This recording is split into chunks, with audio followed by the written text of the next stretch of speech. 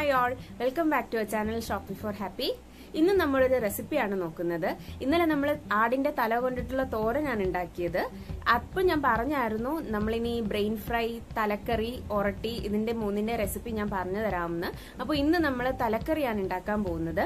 അപ്പോൾ ഇന്നലത്തെ തലത്തോരൻ കാണാൻ പറ്റാത്തവർ അല്ലെങ്കിൽ ഇതുവരെ കണ്ടിട്ടില്ലാത്തവർ ഐ ബട്ടൺ ക്ലിക്ക് ചെയ്താൽ മതി റെസിപ്പി കാണാൻ പറ്റും. അപ്പോൾ എല്ലാവരും ഇത് പ്രിപ്പയർ ചെയ്ത് നോക്കണം. നല്ല ടേസ്റ്റ് ആണ്. നമ്മുടെ ചാനൽ ആദ്യമായിട്ട് കാണുന്നവർ ആരെങ്കിലും ഉണ്ടെങ്കിൽ സബ്സ്ക്രൈബ് ചെയ്യുക ഷെയർ ചെയ്യുക. അതിൽ സബ്സ്ക്രൈബ് ചെയ്യുന്ന ബട്ടണിനടുത്ത് ഒരു ബെല്ലൈക്കൺ ഉണ്ട്. അതുകൊണ്ട് ക്ലിക്ക് ചെയ്താൽ ഞാൻ വീഡിയോസ് ഇടുന്നതെല്ലാം മിസ് ചെയ്യാണ്ട് നിങ്ങൾക്ക് കാണാനായിട്ട് പറ്റും. അപ്പോൾ നമുക്ക് എങ്ങനെയാണ് തലക്കറി ഉണ്ടാക്കുന്നതെന്ന് നോക്കാം.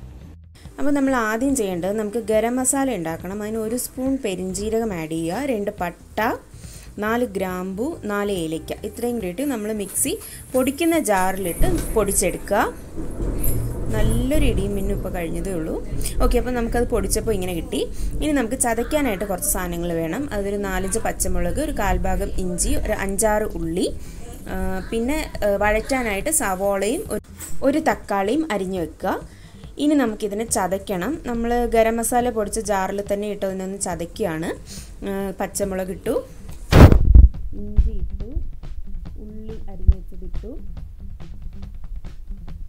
പിന്നെ നമുക്ക് ഇച്ചിരി വെളുത്തുള്ളിയും കൂടി വേണം. ഒരു കാൽ കുടം വെളുത്തുള്ളി ഒരു നാലഞ്ചാറ് അഞ്ച് വരുന്ന രീതിയിൽ വെളുത്തുള്ളി എടുക്കുക. അതും നമ്മൾ ഇട്ടു. എന്നിട്ട് ഇതിനെ ഒന്ന് ചതച്ചെടുക്കുകയാണ്. ചതച്ച് നമുക്ക് ഇങ്ങനെ കിട്ടിയിട്ടുണ്ട്. ഇനി കുറച്ച് മല്ലിയിലയും കുറച്ച് കറിവേപ്പിലയും കൂടി എടുത്ത് വെക്കുക.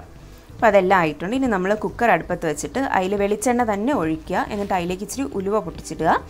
എന്നിട്ട് അത് ചൂടാവുന്ന ടൈമിൽ നമ്മൾ ആക്ച്വലി ഗരം മസാലയിൽ ഒരു ടീസ്പൂൺ നമ്മുടെ കുരുമുളക് പൊടിച്ചതും കൂടി ആഡ് ചെയ്ത് വെച്ചേക്കുകയാണ് ഇനി നമ്മുടെ കുക്കറിലേക്ക് നമ്മുടെ ഉലുവ ചൂടായി കഴിയുമ്പോൾ ചതച്ച് വെച്ചേക്കുന്ന സാധനങ്ങളെല്ലാം കൂടി അതിലേക്ക് ഇട്ട് കൊടുക്കുക.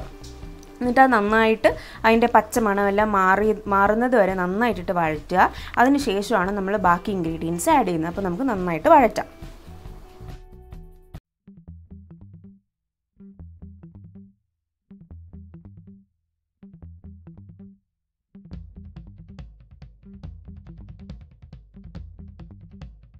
നമ്മളിത് ഉണ്ടാക്കുമ്പോൾ വെളിച്ചെണ്ണ തന്നെ യൂസ് ചെയ്യുന്നതാണ് നല്ലതെങ്കിൽ അതിന്റെ ആ ഒരു ടേസ്റ്റ് നന്നായിട്ട് കിട്ടത്തുള്ളൂ. അപ്പോൾ എല്ലാവരും വെളിച്ചെണ്ണ ഉപയോഗിക്കാനായിട്ട് ശ്രദ്ധിക്കണേ.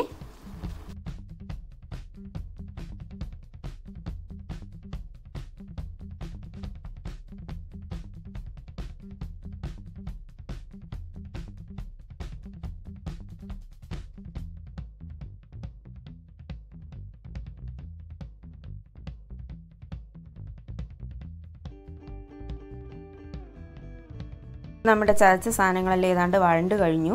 ഇനി നമ്മൾ അരിഞ്ഞു വെച്ചേക്കുന്ന സവാള ആഡ് ചെയ്യുവാണ്. അപ്പോൾ സവാള വഴറ്റുമ്പോൾ നമ്മൾ എന്തായാലും ഇച്ചിരി ഉപ്പും കൂടി ആഡ് ചെയ്യും. അതുകൊണ്ട് നമ്മൾ ഇച്ചിരി ഉപ്പും കൂടി ആഡ് ചെയ്ത് നന്നായിട്ട് വഴറ്റുകയാണ് ഇത് നന്നായിട്ട് വഴറ്റിയതിന് ശേഷമാണ് നമ്മൾ ബാക്കി ഇൻഗ്രീഡിയൻസ് ആഡ് ചെയ്യുന്നത്. അപ്പോൾ നമുക്ക് അതുവരെ വെയിറ്റ് ചെയ്യാം.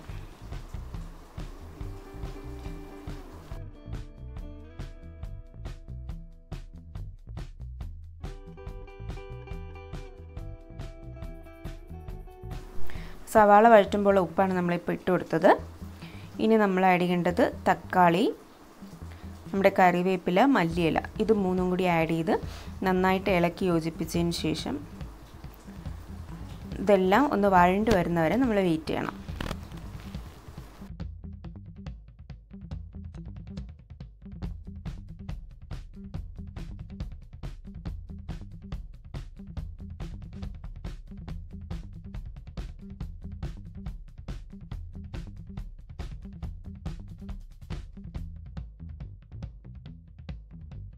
അപ്പോൾ ജസ്റ്റ് അടിയിൽ പിടിച്ചു എന്ന് തോന്നിയാൽ നമ്മൾ ഒരു ഒരു two two three tablespoon വെള്ളം ഒഴിച്ച് ജസ്റ്റ് അതിനൊന്ന് ഇളക്കിയെടുക്കുക അപ്പോൾ നമുക്ക് പാചകം ചെയ്യാൻ എളുപ്പമായിരിക്കും. അല്ലെങ്കിൽ അടി പിടിക്കുന്ന ഇങ്ങനെ കൂടി കൂടി വരും. അപ്പോൾ അതുകൊണ്ട് നമ്മൾ ഇച്ചിരി വെള്ളം ഒഴിച്ചൊന്ന് ഇളക്കിയതാണ് ഇപ്പോൾ പുറത്ത് നല്ല മഴയും ഇടിയും മിന്നൊക്കെ ഉണ്ട്. അതുകൊണ്ട് സൗണ്ട് എങ്ങനെയാണ് കേൾക്കുന്നതെന്ന് എനിക്ക് അറിയത്തില്ല നമ്മൾ എന്നിട്ട് ലിഡ് വെച്ച് ക്ലോസ് ചെയ്തിട്ട് അതവിടെ അടുപ്പിൽ തന്നെ വെച്ചേക്കാണ്. ഒരു മീഡിയം ഹൈ ഫ്ലെയിമിലാണ് അത് വെക്കാനായിട്ട്. ഇനി അത് വേവുന്ന ടൈമിൽ നമുക്ക് മസാല ഉണ്ടാക്കാം. മസാല എന്ന് പറയുമ്പോൾ ഒരു കാൽ ടീസ്പൂൺ നമ്മുടെ മഞ്ഞൾപ്പൊടി രണ്ട് ടേബിൾ സ്പൂൺ നമ്മുടെ റെഡ് ചില്ലി പൗഡർ നാല് ടേബിൾ സ്പൂൺ കൊറിയാണ്ടർ പൗഡർ മല്ലിപ്പൊടി. അപ്പോൾ നമ്മുടെ ഇവിടെ എടുത്തേക്കുന്ന മുളക് പൊടി എന്ന് പറയുന്നത് അത്യാവശ്യം എരിവുള്ള മുളക് പൊടിയാണ്. എരിവ് കുറഞ്ഞിട്ടുള്ളതാണെങ്കിൽ നമുക്കതനുസരിച്ച് മുളക് പൊടി കൂട്ടാം. എരിവ് കുറവാണെങ്കിൽ ഇച്ചിരി കൂടി നമുക്ക് ആഡ് ഒരു ടേബിൾ സ്പൂൺ ആഡ് ചെയ്യുന്നതുകൊണ്ട് കുഴപ്പമില്ല. പക്ഷേ മല്ലിപ്പൊടി നമ്മൾ അധികം ആഡ് ചെയ്യാതിരിക്കുന്നതാണ് നല്ലത്. കാര്യം ഒരു മല്ലിപ്പൊടി കൂടുന്നതനുസരിച്ച് ടേസ്റ്റ് കുറയാനായിട്ട് ചാൻസ് ഉണ്ട്. അതുമാത്രമല്ല ഒരുപാട് കറി നമ്മളിതിൽ ഉണ്ടാക്കുന്നില്ല. എന്നാൽ നമ്മുടെ ഈ പെരട്ട് പോലെയാണോ എന്ന് ചോദിച്ചാൽ പെരട്ട് പോലെയല്ല. പക്ഷെ നമുക്ക് നമ്മൾ ഇറച്ചിക്കറി ഉണ്ടാക്കും നമുക്ക് കോരി എടുക്കുന്ന പാകത്തിനുള്ള കറി ഇതിൽ എന്തായാലും കാണത്തില്ല. പക്ഷേ പെരട്ട് പോലെയും ആയിരിക്കത്തില്ല. അപ്പോൾ അതുകൊണ്ട് നമ്മൾ നാല് ടീസ്പൂൺ ടേബിൾ സ്പൂൺ മല്ലിയില ആഡ് ചെയ്താൽ മതി. ഇനി നമ്മൾ നമ്മൾ വഴറ്റാനായിട്ട് ഇട്ട സാധനങ്ങളെല്ലാം ജസ്റ്റ് ഒന്ന് നോക്കുക. തക്കാളിയൊക്കെ ജസ്റ്റ് ഒന്ന് ഉടച്ചു കൊടുക്കുക. എന്നിട്ട് വീണ്ടും നന്നായിട്ട് മിക്സ് ചെയ്ത് ഒന്നുകൂടി ക്ലോസ് ചെയ്ത് ലിഡ് ക്ലോ വെച്ച് ക്ലോസ് ചെയ്തിട്ട് ഇട്ടേക്കുക. അടുപ്പിലേന വെച്ചേക്കുക. ഇനി നമ്മൾ നമ്മൾ ഈ പൊടി ഐറ്റംസിലേക്ക് നമ്മൾ എന്ത് ആഡ് ചെയ്യും? നമ്മുടെ ഗരം മസാലയും നമ്മുടെ കുരുമുളക് പൊടി ആഡ് ചെയ്ത് വെച്ചേക്കുന്നതും കൂടി ആഡ് ചെയ്യുവാണ്. എന്നിട്ട് അതിലോട്ട് ഇച്ചിരി വെള്ളം നമ്മൾ ആഡ് ചെയ്ത് ജസ്റ്റ് ഒന്ന് മിക്സ് ചെയ്യുക. ഒരുപാട് വെള്ളം പോലെ വേണം എന്നൊന്നുമില്ല ജസ്റ്റ് ഒന്ന് വെച്ചാൽ നമ്മൾ പൊടിയായിട്ട് ഇട്ടാൽ അത് കരിഞ്ഞു പോകാനുള്ള ചാൻസ് ഉള്ളതുകൊണ്ട് നമ്മൾ ഇച്ചിരി വെള്ളത്തിൽ മിക്സ് ചെയ്തിട്ട് ആഡ് ചെയ്യുന്നതാണ് എപ്പോഴും നല്ലത്. ഏത് ഏത് ഉണ്ടാക്ക മസാലയുള്ള ഏത് ഉണ്ടാക്കുമ്പോഴും നമ്മൾ അങ്ങനെ ഉണ്ടാക്കുന്നതായിരിക്കും കുറച്ച് നല്ലത്. നമ്മൾ ഇച്ചിരി വെള്ളം ഒഴിച്ച് ഇതുപോലെ ഒന്ന് ആക്കി എടുത്തിട്ടുണ്ട്.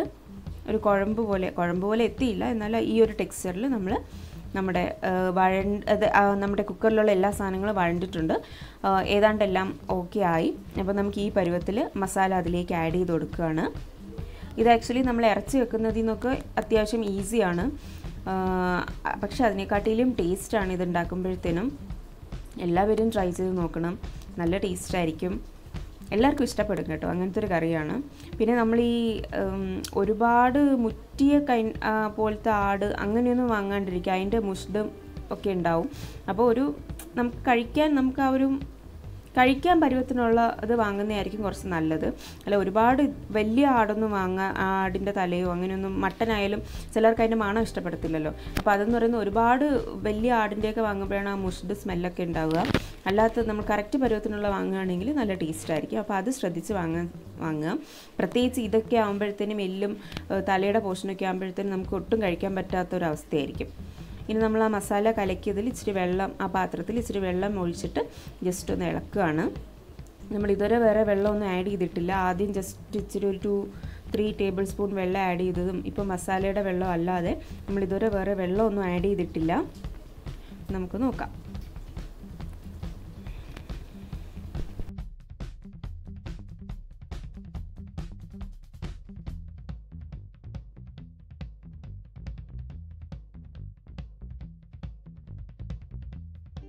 നമ്മൾ ഈ ഇറച്ചി വാങ്ങുമ്പോഴത്തേന് അതിനകത്ത് ഈ തല എന്ന് പറഞ്ഞ് വാങ്ങിയാലും അതിനകത്ത് കാലും നമ്മുടെ ഞല്ലിയും ഒക്കെ ഉണ്ടാവും. അപ്പോൾ അതൊക്കെ ഇതിനകത്തുണ്ട്. അതൊക്കെ ഈ കറിയിലാണ് നമ്മൾ ഇടുന്നത്. തോരൻ ഇടത്തില്ല. നമ്മുടെ ഇറച്ചി വരുന്ന പോർഷനെല്ലാം നമ്മൾ ഇന്നലെ തോരൻ വെച്ച് കഴിഞ്ഞു. ഇനി എല്ലിന്റെ പോർഷൻസ് മാത്രമേ ഉണ്ടാവത്തുള്ളൂ. അപ്പോൾ നമ്മുടെ ഗ്രേവിയുടെ ഈ അരപ്പ് വഴറ്റിയത് നമ്മുടെ മസാലയെല്ലാം ഇങ്ങനെ ഈ പരുവത്തിലായിരിക്കുകയാണ്. നമ്മളിനി ഇതിലേക്ക് നമ്മുടെ ഇറച്ചി ഇട്ട് നന്നായിട്ട് മിക്സ് ചെയ്യണം. അതിന് ശേഷമാണ് നമ്മൾ വെള്ളം ഒഴിക്കുന്നത്. അപ്പോൾ നമുക്ക് നന്നായിട്ട് ഇളക്കാം. നമുക്കിനി ഉപ്പും കൂടി ആഡ് ചെയ്യാനുണ്ട്. അപ്പോഴത്തേനും നമ്മുടെ കറിയുടെ ഏതാണ്ട് പരിപാടിയെല്ലാം കഴിഞ്ഞിട്ടുണ്ട്. ഇനി ഇതിൽ നമ്മൾ ഇളക്കുക നന്നായിട്ട് മിക്സ് ചെയ്യുക. എന്നിട്ട് ഉപ്പും കൂടി ഇട്ട് നന്നായിട്ട് മിക്സ് ചെയ്യുക. കുറച്ച് വെള്ളം ഒഴിക്കുക. ഒരു ഏഴെട്ട് വിസിൽ കേൾക്കുക. കറി റെഡി അപ്പോൾ നമുക്ക് നമ്മുടെ ലാസ്റ്റ് സ്റ്റെപ്പിലോട്ട് പൊക്കോണ്ടിരിക്കുകയാണ്. അപ്പോൾ നമുക്ക് നന്നായിട്ട് ഇളക്കി മിക്സ് ചെയ്യാം.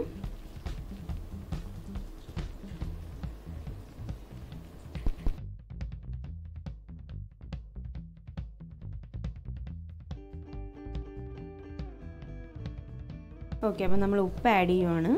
ഇതിൽ ആക്ച്വലി ഒരു പിങ്ക് കളർ പോലെ കണ്ടില്ലേ ഉപ്പിൽ അതെന്ന് പറഞ്ഞാൽ മുന്നേ പിങ്ക് സോൾട്ട് വാങ്ങിയായിരുന്നു. അപ്പോൾ അത് തീർന്നില്ല അതിന്റെ ബോട്ടിലിൽ നിന്ന് അങ്ങനെ ഞാൻ പിന്നെ ഉപ്പിന്റെ ബോക്സിനകത്ത് ഇട്ട് വെച്ചതാണ്. അപ്പോൾ നമ്മൾ ഉപ്പും കൂടി ആഡ് ചെയ്തിട്ടുണ്ട്. ഇനി നമ്മൾ നന്നായിട്ട് മിക്സ് ചെയ്യണം. എന്നിട്ട് ഇനി നമുക്ക് വെള്ളം ആഡ് ചെയ്യാം. ഇതിപ്പോൾ നമ്മൾ ചതച്ച ജാറില്ലേ ഉള്ളിയും പച്ചമുളകൊക്കെ ചതച്ച് ഇച്ചിരി വെള്ളം ഒഴിച്ച് ആഡ് ചെയ്തതാണ്. ഇതിപ്പോൾ നമ്മൾ ഒന്നര ഗ്ലാസ് വെള്ളമാണ് നമ്മൾ ടോട്ടൽ ഇനി ആഡ് ചെയ്യുന്നത് ഒന്നര ഗ്ലാസ് വെള്ളമാണ് ആഡ് ചെയ്യുന്നത്. ഇതിൽ നിറയെ വെള്ളം നമ്മൾ ഒഴിക്കേണ്ട കാര്യമില്ല. ഇതെല്ലാം ജസ്റ്റ് ഒന്ന് മുങ്ങിക്കിടക്കുന്ന രീതിയിൽ ഒഴിച്ചാൽ മതി. ഇപ്പോൾ കണ്ടില്ലേ ജസ്റ്റ് അതിന്റെ ആ ഒരു മേൾഭാഗം വരെ എത്തിയാൽ മതി. അല്ലാതെ തീരെ ഒരുപാട് അങ്ങ് മുങ്ങിക്കിടക്കുന്ന രീതിയിൽ നമ്മൾ വെള്ളം ഒഴിക്കേണ്ട. ഇത്ര വെള്ളം തന്നെ വേണ്ടു. ഇതിൽ തന്നെ ഇത് വെന്ത് കിട്ടും. നന്നായിട്ട് കുക്കായി കിട്ടും നമുക്ക്. നമ്മൾ വിസിലിട്ടു. ഇനി ഒരു നമുക്കൊരു സെവൻ ടു എയ്റ്റ് വിസിൽ നമ്മൾ കേൾക്കണം. അപ്പോൾ അതെല്ലാം കഴിഞ്ഞ് നമ്മളത് കുക്കർ ഓപ്പൺ ചെയ്തു. കണ്ടോ? നല്ല അടിപൊളിയായിട്ട് വെന്തിട്ടുണ്ട്. ഇത്ര ഗ്രേവി ഉണ്ടാവത്തുള്ളൂ. കണ്ടോ? ഇതിൽ ഒരുപാട് കറിയും കാര്യങ്ങളൊന്നുമില്ല. എന്നാൽ ഗ്രേവി ഇല്ലാണ്ടും അല്ല നന്നായിട്ട് വെന്തിട്ടുണ്ട് നമ്മുടെ തലക്കറി. ഇതിനകത്ത് നമുക്ക് ഞല്ലിയൊക്കെ ഉണ്ട്. നമ്മുടെ കാലിന്റെ എല്ലൊക്കെ ഉണ്ട് ഇതിനകത്ത്. അതിനകത്തു നിന്നുള്ള സാധനമൊക്കെ നമുക്ക് നന്നായിട്ട് വെന്തിട്ട് ഒക്കെ കഴിക്കാൻ പറ്റും. അതിനകത്ത് എല്ലാ മസാല ഉണ്ടാവും. നല്ല ടേസ്റ്റാണ് കഴിക്കാൻ. നിങ്ങൾ എല്ലാവരും ട്രൈ ചെയ്ത് നോക്കണം. നല്ല ടേസ്റ്റാണ്. കണ്ടോ? കാലിന്റെ പീസൊക്കെ കിടക്കുന്നുണ്ടോ നല്ല ടേസ്റ്റ് അല്ലേ കണ്ടിട്ട് ഇങ്ങനെയുണ്ട് അടിപൊളിയല്ലേ? അപ്പോൾ നമ്മുടെ അടിപൊളി തലക്കറി ഇവിടെ റെഡി ആയിട്ടുണ്ട്. അപ്പോൾ ഞാൻ റെസിപ്പി നിങ്ങൾക്ക് എല്ലാവർക്കും പറഞ്ഞു തന്നിട്ടുണ്ട്. നിങ്ങൾ എല്ലാവരും ട്രൈ ചെയ്ത് നോക്കണം. അപ്പോൾ ഇന്നത്തേക്ക് ഇത്രേ ഉള്ളൂ. Then bye